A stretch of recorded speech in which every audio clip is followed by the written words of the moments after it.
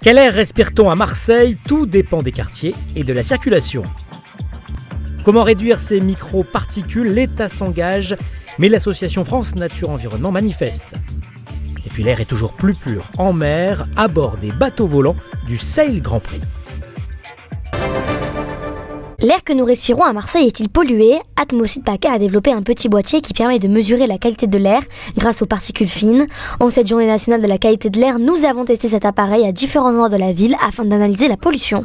Marseille, c'est pollué euh, comme les autres villes. Euh, on a effectivement à l'échelle de l'année des concentrations globalement un petit peu plus importantes parce que en été, on a euh, des phénomènes d'ensoleillement et de chaleur qui produisent des particules secondaires fait que à l'échelle de l'année, on peut avoir des niveaux un peu plus importants, mais on a moins de phénomènes de pointe comme on peut avoir notamment à Paris. ça reste pollué, il y a beaucoup de, trafic sur, sur Marseille mais on a aussi hein, des industries qui sont sont pas trop loin, donc euh, c'est sûr que c'est pollué. Si on veut un air sain, il faut euh, s'écarter du, centre-ville, donc euh, plutôt en, périphérie. et dès qu'on a de grands axes routiers, il, faut s'en éloigner le plus possible. Dans les calanques, c'est pas mal. Dans les calanques. Le constat est flagrant sur les grands axes routiers comme le Coloto ou le boulevard Baye, la pollution augmente, mais le plus gros pic de pollution que nous avons mesuré se trouve en terrasse fumeur. Quand on mesure des particules fines à côté de fumeurs, on atteint des niveaux qui peuvent être extrêmes. Donc là, le, capteur nous affiche euh, des concentrations euh, au-delà des 3000 microgrammes par mètre cube. On est ici à Notre-Dame de la Garde et depuis qu'on est passé du, centre-ville qui est au pied à Notre-Dame de la Garde, on a des concentrations qui ont euh, réellement diminué. On est passé en moyenne de à peu près 35 microgrammes par mètre cube à à peu près une dizaine de microgrammes par mètre cube. Ici, on est sur le cours Lyoto, un axe assez fréquenté hein, par, les, euh, par les Marseillais.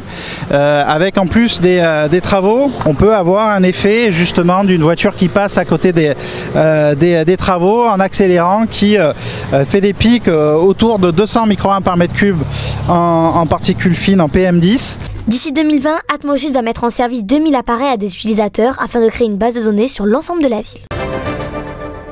La pollution, on en mange, respire. 48 000, c'est le nombre de décès prématurés par an liés à la pollution atmosphérique. Ce matin, pour la journée nationale de la qualité de l'air, des associations se sont regroupées sur les escaliers de la gare Saint-Charles, un lieu stratégique pour les manifestants. Leur but, sensibiliser les passants concernant la pollution de l'air. Mais au-delà des navires, c'est aussi tous les transports terrestres les voitures, les camions, qui aujourd'hui nous polluent parce qu'on ne sait pas développer suffisamment les transports collectifs.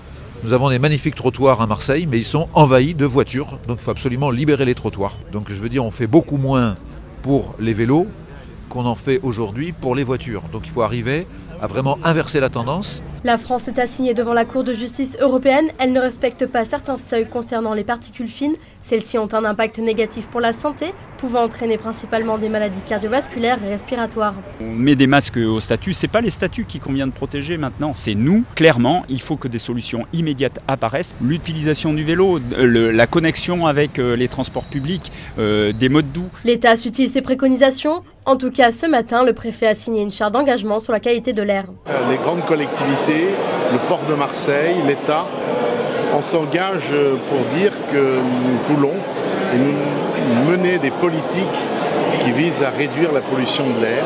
Mais il faut toujours améliorer les choses, notamment en matière de transport. Mais tout cela ne peut venir que dans quelques années. Les autorités ont pris conscience de l'importance des enjeux écologiques en mettant en place des bus électriques, des pistes cyclables et bientôt des navires branchés à l'électricité, mais encore trop peu pour que les Marseillais abandonnent leurs voitures. Après Sydney, New York, San Francisco et Coves, Marseille accueille ce week-end la finale du Sail GP. Les six super catamarans, tous identiques et issus de la dernière Coupe de l'Amérique, vont en découdre dans la rade nord de Marseille. À la clé, un million de dollars pour le vainqueur. Mais comment fait-on pour naviguer à bord de tels engins?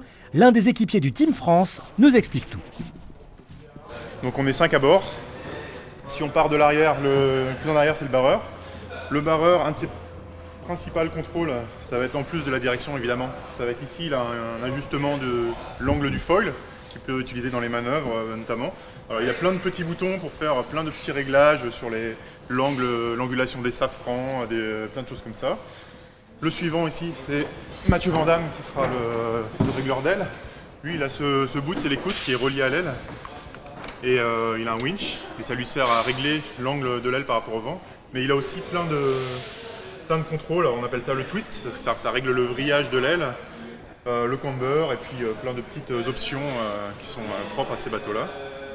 Le poste suivant, qui est vraiment un poste clé dans cette série, c'est ce qu'on appelle le fly controller. Elle a une petite molette ici. Vous voyez, cette molette-là, en fait, elle contrôle le foil qui est dans l'eau, l'angle du foil qui est dans l'eau. Donc en ligne droite, c'est elle qui est en charge de ça.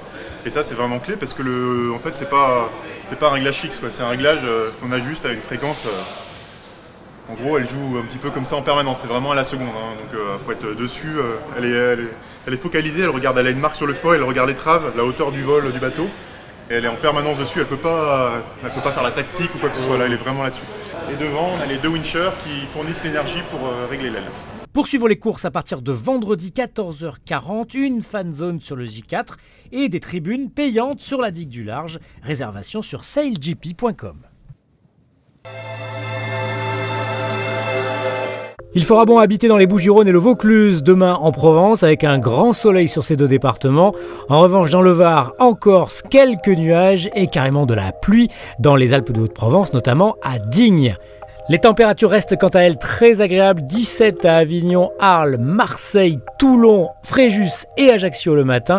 L'après-midi, on est en dessous des 30 degrés, mais ça reste quand même très confortable. 29 à Avignon, 28 à Marseille.